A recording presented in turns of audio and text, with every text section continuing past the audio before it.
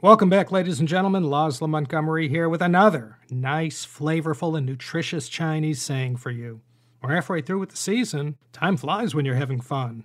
Or, as one might say in Chinese, Guang Yin Si Jian. Time flies like an arrow. But that is not our Chengyu for this time. Today, we have another swell one that comes to us straight from the book of Jin, compiled during the Tang Dynasty. As you know, it was always the succeeding dynasty that would compile the official history of the preceding one, giving credence to the old saying that the past is what happened and history is how it's written about. Our Chinese saying for this episode is Dongshan Zai Qi, and as we always seem to do, and for good reason, I suppose, let's break these four syllables down. Dong means east, and Shan means mountain, eastern mountain. Zai means again or once more and qi means to rise, get up, or stand up, among other definitions. Dongshan Zai Qi, Eastern Mountain again rises. Well, I guess that could mean anything, so let's hop in our time machine and go back more than 16 centuries ago to the time of the Eastern Jin Dynasty, when the capital was located down in Jiankang, modern day Nanjing. This is where the Jin royal family ended up after getting brutally chased out of their previous capitals of Luoyang and Chang'an by the marauding Xiongnu tribes from the north. During the Eastern Jin dynasty, there lived a scholar named Xie An who lived 320 to 385.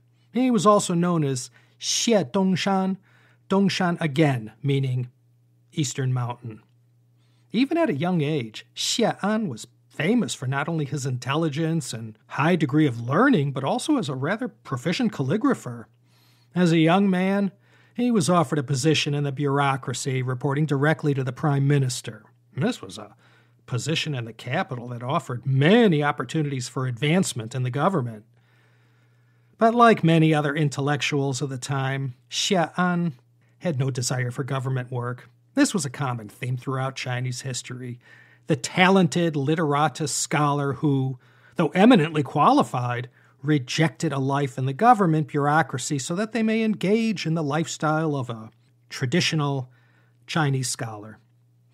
Despite his feelings about not wishing to go to work in the government, Xie An finally got talked into serving as an official in the Eastern Jin government.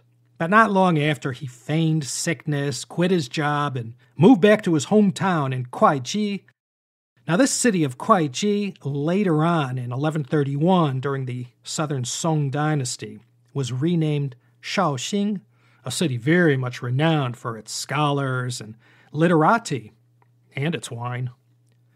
But Xie An had become too famous and renowned to lead the secluded life he wished for.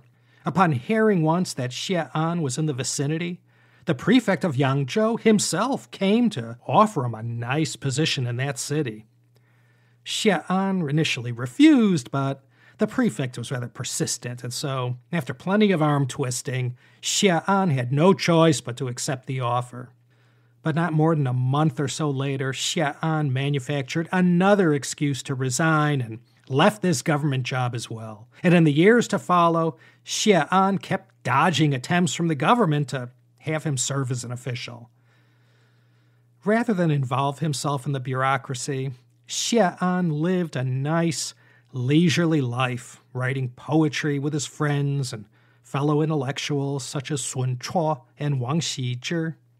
Now, these two were among the most renowned and celebrated poets, calligraphers, and literati of their day. Wang Xizhi was covered in an old China History podcast episode, number 96. He is immortalized in Chinese cultural history as perhaps China's greatest calligrapher, and for his legendary Introduction to Poems composed at the Orchid Pavilion, aka the Lanting Ji Xu. Though Xie An and his friends often toured the South, taking in China's magnificent scenery and landscapes, his home base remained a mountain called Dongshan in Kuaiji, again present day Shaoxing, northeastern Zhejiang province. One day, as he sat on the mountain looking out over the rivers and valleys below, Xie An sighed contentedly. How lucky I am to be able to lead the life of the ancient hermit Bo Yi. Now, Bo Yi was a mythical figure from the most ancient times. Meanwhile, Xie An's younger brother, Xie Wan, was rising quickly in the imperial court, doing what his older brother refused to do, serving in the government. As talented as Xie Wan was, everyone acknowledged that it was really brother Xie An who was the real genius of the two. The further up Xie Wan managed to climb, the more everyone lamented that Xie An had gone into seclusion. Seeing that Xie Wan's family was growing rich after his many promotions, Xie An's wife grew discontented with her husband's simple lifestyle.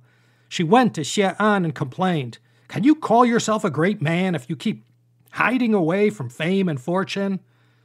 But Mrs. Xie had no better luck than the government officials who kept trying in vain to entice Xie An to leave his perfect life of solitude and scholarship behind and to go work for the Eastern Jin imperial court.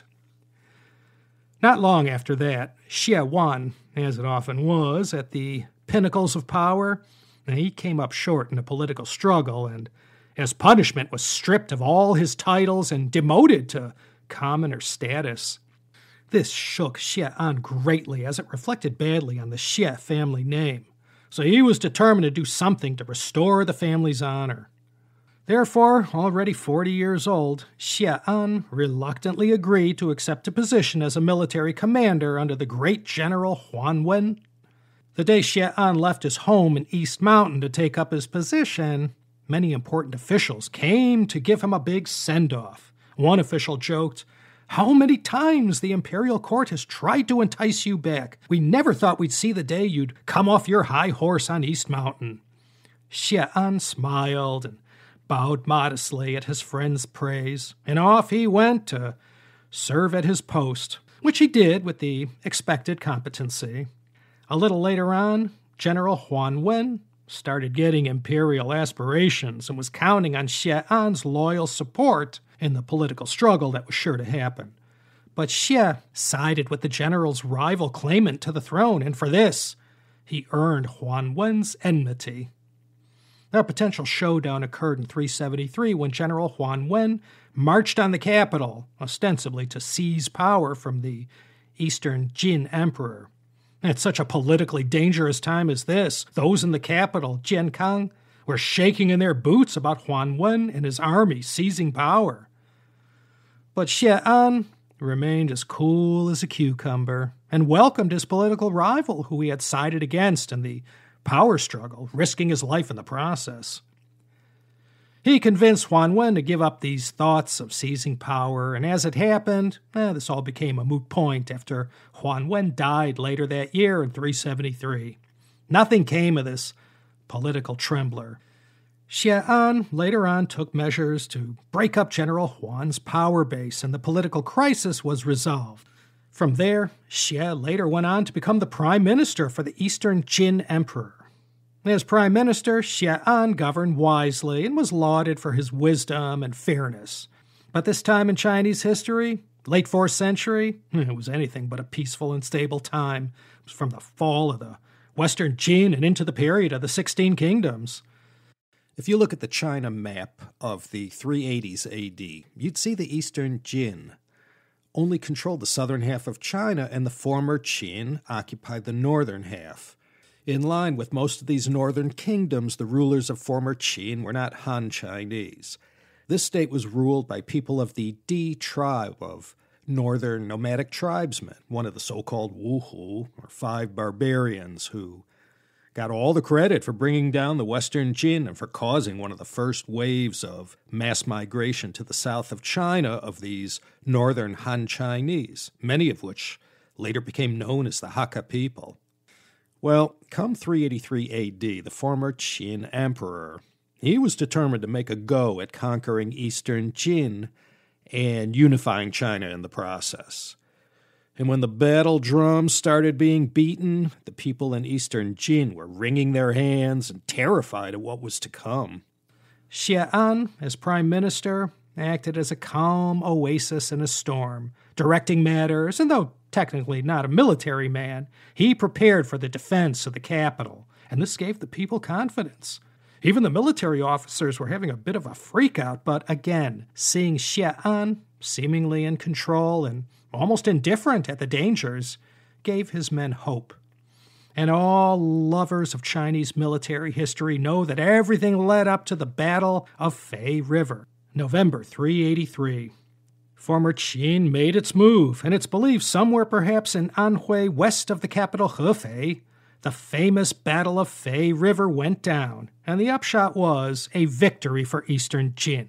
And so utterly complete was the Eastern Jin victory, the former Qin never recovered and didn't last much longer, falling in 394.